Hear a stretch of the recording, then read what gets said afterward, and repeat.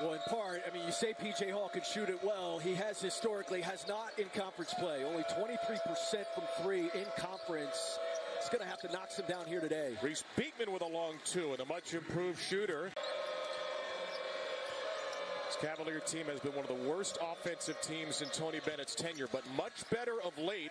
And McKneely in the lane has his first two. Guys, thank you. We continue our afternoon of ACC basketball here in Clemson, where Reece Beekman's miss is flushed by Ryan Dunn, who went over the top of his teammate. A 9-8 Virginia lead. Kevin Brown, Chris Spatola with you. Virginia winners of five straight, the longest streak in the ACC. Clemson just four and five in league play after a brilliant non-conference. Since he started, Virginia has started to win. Groves again, his second three-point try, and this one's pure. A career high six. Really good skip pass. And that's one of those guys, again, that stretch four becomes a mismatch. Early in the possession, straight line drive. Another good look, and Groves with a straight, sweet stroke from deep. That's eight early. You're closing out, leaving a little space. And then you get a little pin down, big to big. And he would sub a lot early in the game, too, because guys, I mean, there's just so much that goes into it and uh, in and around it. I mean, even when Clemson's been able to get it there, it's been tough sledding at the basket. I mean, Ryan Dunn, as you said. Girard gets around McKneely into Minor, who rejects his shot. Their bodies all over the floor. They want to force McKneely to hit that shot. Tough one off balance. The second basket, he's two for six. Girard oh. pickpocketed by Beekman, his third steal. They lead by at least five into the break. Beekman sets up Groves off the shot fade. Wow. Groves drills a three.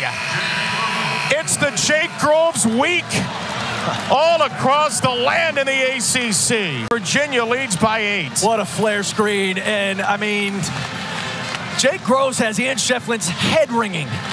Chase Hunter's at his best. You know, downhill in transition, especially if you don't stop the basketball. McKneely can't give him space in the mid-range. And McKneely's got a couple of buckets here in the half, eight points total.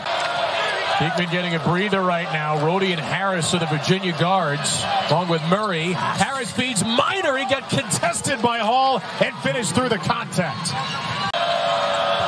Schieffelin's got a dozen. Rohde for three. Just a 26% three-point shooter. They're back on top against red-hot Virginia. They got Beadle in the game guarding McKneely, who hits a tough step back two. And the backboard. And then McKneely coming off here. What a tough shot and a big shot. If you're Clemson, you've got to finish the possession with a defensive rebound. He's been searching, finds McKneely. He's fouled. He hits a three. Oh, what a moment for your first three-pointer of the game. Point lead. Searching for a major quad one road win. Trying to put Virginia in a really good NCAA tournament position at the beginning of February. Seven to shoot. Here's Beekman. He's been the man all season. Feeds Minor. Dunn is there for the tip.